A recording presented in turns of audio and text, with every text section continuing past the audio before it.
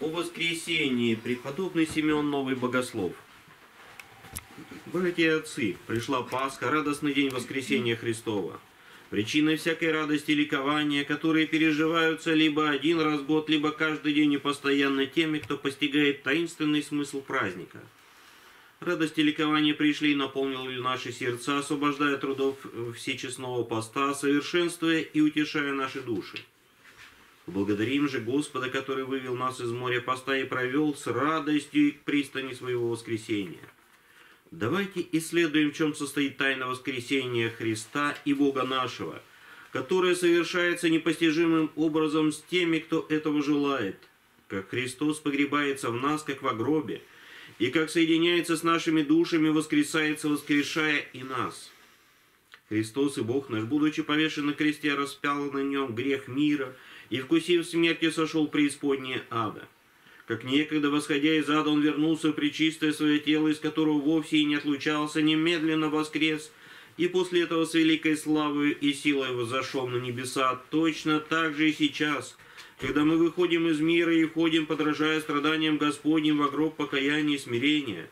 Он сам сходит с небес, входит наше тело, как во гроб, соединяется с нашими духовно мертвыми душами и воскрешает их.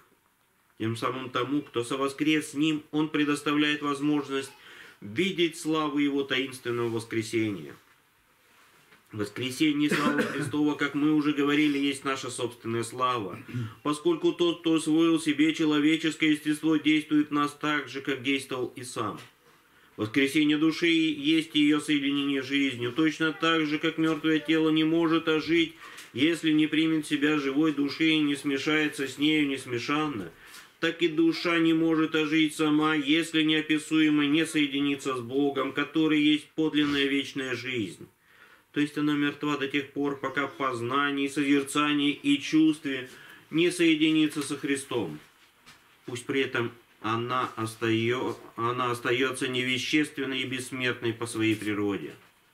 Большинство людей верит в воскресение Христова, однако очень мало кто ясно видит его. А те, которые не увидели его, не могут поклониться Иисусу Христу как святому Господу. И священнейшее песнопение, которое мы ежедневно имеем на устах, не говорит воскресение Христова веры. Ну что? Воскресение Христова видевши, поклонимся святому Господу Иисусу, единому безгрешному. Как же Дух Святой понуждает говорить нас, будто мы видели то, чего на самом деле не видели, так как Христос воскрес один раз тысяч, тысячу лет назад. Но и тогда никто не видел, как Он воскрес. Может, Святой Дух хочет, чтобы мы говорили ложь? Нет, конечно, но то, что Он побуждает нас исповедовать, есть истина. Ибо воскресение Христово совершается внутри каждого верующего и не единожды, но всегда, когда сам Владыка Христос – воскресает внутри нас, облекается в благолепие сверкает молниями нетления божества. Светоносное присутствие Духа указывает нам на воскресение Христово и доставит нас увидеть самого воскресшего. Поэтому мы и говорим «Бог Господь, явися нам» Псалом 117, 27.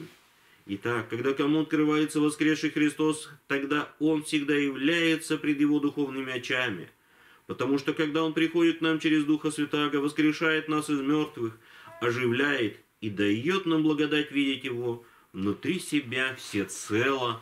Аминь.